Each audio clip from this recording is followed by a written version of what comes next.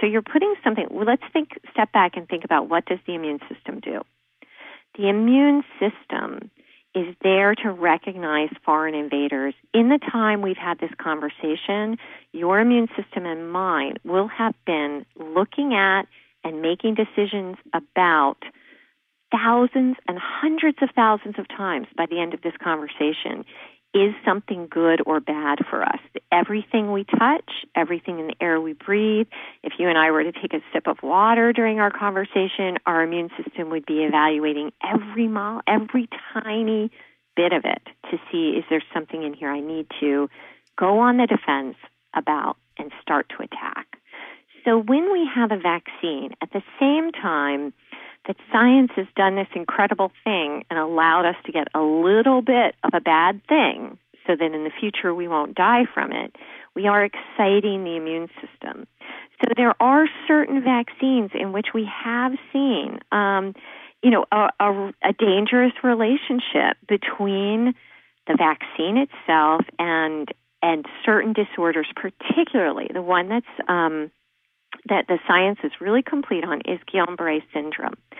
So if anybody remembers the swine flu crisis a couple of decades ago when we were having this huge swine flu epidemic, in fact, when we started to give the the vaccine for swine flu, we saw a lot of cases, not we, I personally was very young then, I think I was like 10 or 5. but when that vaccine was started started to be given to the population, we began to see that 6 weeks later from that vaccine, we had a high number of people who were coming down with a condition called Guillain-Barré syndrome. I myself have had it multiple times. Now, I have not had it from a vaccine. I've had mine based on um, exposure to the stomach flu, which can, in fact, also cause Guillain-Barré syndrome. But when we introduce a foreign virus to the body, we are perking up the immune system. For some people, and we don't know who, but certainly some people who got the swine flu vaccine, there can then be a reaction where that immune system overfires gets overexcited, and then, as I explained before, begins to develop autoantibodies because it's confused. Who am I attacking? Am I attacking the vaccine? Am I attacking the body? Where am I supposed to go and fight? And it begins to give the, the, the symptoms of the disease Guillain-Barré syndrome because the autoantibodies begin to attack the myelin sheaths, and the myelin sheaths protect our axonal nerves if we don't have intact myelin sheaths, which work as kind of like the insulation around electrical cords to conduct information, then when our brain sends the signal leg walk, the leg isn't going to get that signal. And that results in the flaccid paralysis of Guillain-Barré syndrome. The major thing that I thought was relevant in the vaccination area was the thimerosal, which is part of vaccinations. And I don't want to underestimate this because mercury's in the air, in the food supply, in our environment. So, the role of mercury with regard to impacting or being one of the causal instruments or triggers for autoimmune disease is what? Okay, this is very complicated. There is a genetic mercury dance, which is very complicated. And at a research university out in California at Scripps. There are some really genius guys who have been working with mercury and and and lab animals, lab rats. And there are a vast array of different lab rats, some of whom you could give a huge exposure of mercury to, and they're going to be just fine. There are others, because of their genetic predisposition, who are not going to be fine. Um, I think in the book I likened it to if you had a bunch of rats and they had to get through a long train of boxes. Let's just pretend we have a long train of boxes. We could take the group that can get a high exposure of mercury and tell them to crawl through that long line of boxes, and they're going to make it all the way through, and they're going to be fine at the end. We could take the ones that are very susceptible to mercury through their genetic expression, and they are going to die in box one. They aren't going to be able to get all the way through. Here's the problem. We have no idea who among us are in that genetic subset. Again, we're not rats, but we can make certain extrapolations from rats to humans. We all we all process and methylize mercury and other toxins differently. No two people are the same. And that's what's so really disturbing about the amount of mercury in our environment from so many different sources, from eating tuna and swordfish. Um, you know, thimerosal has been removed from a lot of vaccines but it is another mercury exposure that many people had when they were young. But we have far bigger exposures in our diet and in our atmosphere. Talk about mercury is coming down every day in yes. our atmosphere. Yes. So so who are the rats who will make it all the way through the box and it won't bother them a bit?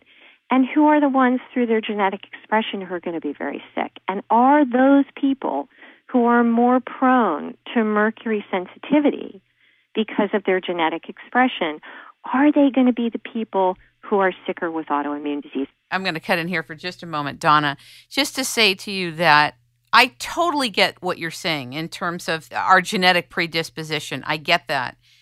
But there's also mounting evidence that there are really no safe levels of mercury. I'm going to get to that. Okay, good. Yeah, I totally understand that. Trust me, I'm the last person to say pour on the mercury and 20% of us will survive. I don't know what we'll look like or how we'll evolve through evolutionary yeah. biology. It probably wouldn't be very pretty. But what I am trying to say is that, you know, it's a little scary that we we know that some people are going to get sick and we know some people are going to be okay. We really don't know who those people are.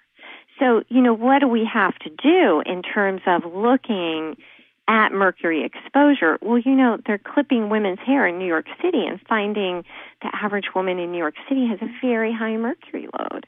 So, so, so who's going to get sick from that and who isn't? It's important for people to understand that some of that has to do with genetic expression. And I'll tell you why that's so important because otherwise I can tell you all day long that mercury in the atmosphere and mercury in your food is really bad for you, but you're going to turn around and you're going to say to me, but hey, Aunt Polly is fine and Uncle Jim is fine and I'm fine. So if we don't understand that mercury exposures are very different for different people, then we continue on this merry road where we have corporations that are able to say, well, if it's so bad, why isn't everyone sick? Got it. That's why the genetic expression piece has to be the beginning of the conversation. Without it, you have too many people claiming that we don't have enough evidence. Well, the truth is, there, mercury is really bad for our bodies. And we have other researchers. Let's move away from our researchers with the rats in the boxes. And let's move to another set of researchers who are actually looking at what mercury exposure does in terms of triggering autoimmune disease. And these researchers have found that indeed mercury can be a trigger in lab animals for autoimmune disease. So when we put all that together, we have a kind of complicated picture in that mercury exposure can cause autoimmune disease, extrapolating to humans in humans who have a genetic predisposition for it. That's pretty big. I want to talk to you a little bit about the fact that there's 80,000 environmental toxins overtaxing our human immune system. We're living in a post war chemical explosion, and you talk about this new plague of autogens, which you say is 80% of the 23.5 million people that suffer from autoimmune diseases. These women are having some type of mimicking of their endocrine receptors they have something going on with estrogen in their body. I want you to talk about estrogen, what the mimicking of endocrine receptors does, what are endocrine disruptors. Can you talk about that? Now, the $64 million question has been why do women get so many more autoimmune diseases than men. Why is that? And that research is still, frankly, outstanding. And I know some of the people working on it, and it's it's really probably going to come down to an issue of hormones. I was just going to say, it seems obvious to me it that it's hormones. That, you know, they're still ironing it out, but it does look as if it, it has to do with our hormones. And